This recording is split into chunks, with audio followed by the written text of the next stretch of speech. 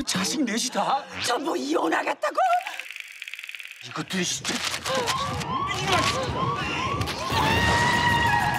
엄마도 아빠도 아마 깜짝 놀랐을 거야 한번 다녀왔습니다. 3월 28일 첫 방송.